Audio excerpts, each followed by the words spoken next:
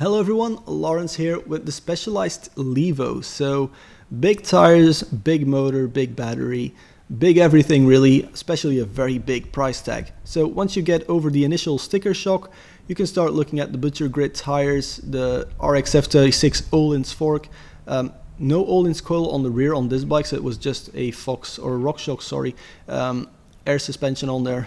Um, SRAM XO with a rather yeah, narrow range cassette for some reason. It wasn't like the 10 to 50 that we're seeing on so many bikes nowadays.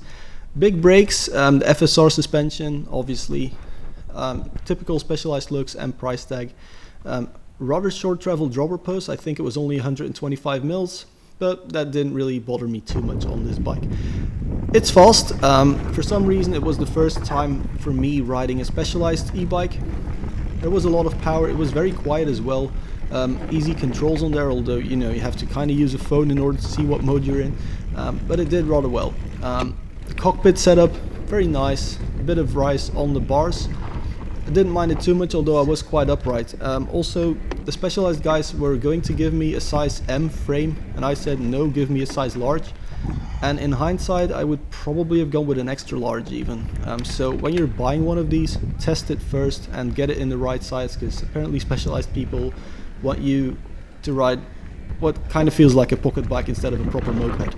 So on the descents with the Butcher Grit tires, it, it, did really well. I was kind of blasting it, although I was super tired. I was going flat out wherever I could. Um, suspension does a good job, especially with all the weights on there. Um, the ratio between sprung and unsprung weight is really good. So that suspension action is super smooth. Going both uphill it's not affected too much when you're putting out power, uh, but also on the downhills, it's just, yeah, it's, it's there for you and it takes away all the small bump stuff and also all the big bumps. Um, on the loose stuff, the bike tracked really well. My weight on this large model was perhaps a bit more on the front wheel than I would have ideally liked, because I would probably go with an extra large, because uh, it's quite conservative in the, the reach department that's me um, losing okay. the front wheel there for a second um, because I wasn't really paying attention. But the bike though, it felt well, felt really well. Um, bit expensive though, I probably would never buy one of these um, because it's just so expensive. And you know, with Specialized, it's always a massive case of sticker shock. But it does really well, both downhill and then getting you up the hill again. That's obviously the beauty of e-bikes.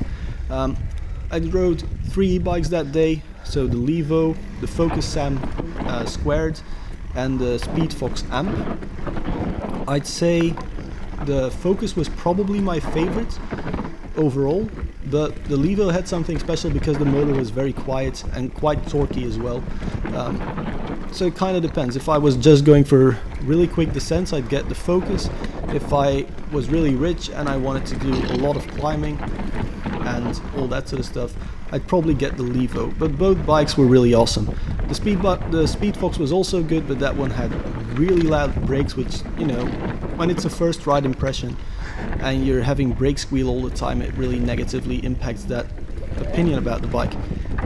Anyway guys, as we go over the four cross track, it's time for me to say goodbye, so like and subscribe, please, please like and especially subscribe because I need a thousand subscribers, and I'll see you guys in the next one, which will be pretty, pretty freaky.